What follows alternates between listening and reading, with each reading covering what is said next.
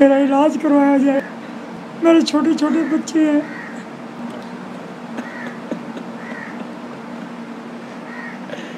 तमाम देखने वालों से अपील करेंगे जी मेहरबानी फरमा के इनकी हेल्प करें और जो दोस्त जो लोग इनकी हेल्प नहीं कर सकते वो कम अज़ कम इस वीडियो को शेयर ज़रूर करें क्योंकि हो सकता है कि आपके एक शेयर से जो है वो इनकी इमदाद हो जाए इनकी हेल्प हो जाए। मेरी अपील है मेरे पूरे पाकिस्तान को मेरे बच्चे छोटे छोटे हैं मेरा कोई कमाने वाला नहीं। मेरी ज़िंदगी बचा दो, मेरे बच्चों के लिए मेरा इलाज करवाया जाए। पूरे फौज के लिए दुआ है, मेरी सदर के लिए भी दुआ वज़ीर अजम के लिए भी सबके लिए मेरी दुआ है। अल्लाह पाक इन्हों के दिल में रहमत फरमा दे। मेरा इलाज करवाया जाए और भी मेरे छोटे छोटे बच्चे हैं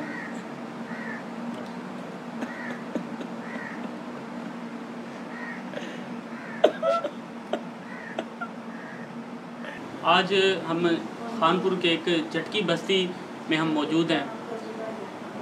मेरे अल्फाज साथ नहीं दे रहे जिस तरीके की इनकी तकलीफ़ है या जिस तरीके के इनके हाल चल रहे हैं। तो आप ख़ुद भी अपनी स्क्रीन पर देख सकते हैं कि कैसे इनके हाल चल रहे हैं और कैसा इनके हालात हैं। का इलाज जो है वो पूरे पाकिस्तान से जो है वो बताया गया कि सिर्फ़ एक ही हॉस्पिटल में हो सकता है, वो आगा खां हॉस्पिटल है, जो बहुत ज़्यादा महँगा हॉस्पिटल है और वो ये अफोर्ड ही नहीं कर सकते। वो तो दूर की बात है, इनके लिए दो वक्त की रोटी खाना भी मुश्किल हो चुका है। तो हर किसी की परेशानी अल्लाह पाक हल फरमाए, हमारी दुआ है। लेकिन मोहम्मद अशरफ के लिए जो देखने वाले दोस्त हैं, जो लोग साहिब हैसियत हैं, जिनके पास दौलत है, अल्लाह पाक ने उनको अता फरमाया है तो उन तमाम देखने वाले दोस्तों से हाथ जोड़ के अपील है दर्दमंदाना अपील है कि मोहम्मद अशरफ का जो है वो साथ दें, मोहम्मद अशरफ का इलाज करवाएँ और जितनी हो सके इनकी हेल्प करें। जो दोस्त इनके साथ रबता करना चाह रहे हैं उनका जो नंबर है वो स्क्रीन पर चल रहा है, आप देख सकते हैं। कि इस नंबर पे आप जो है वो कॉल करके मोहम्मद अशरफ के साथ भी रबता कर सकते हैं और जो दोस्त इनके घर आना चाहें वो भी इनके साथ रबता करके आ सकते हैं। जटकी बस्ती खानपुर ईदगाह है, ईदगाह के साथ ही इनका घर है। तो तमाम देखने वालों से अपील करेंगे जी, मेहरबानी फरमा के इनकी हेल्प करें।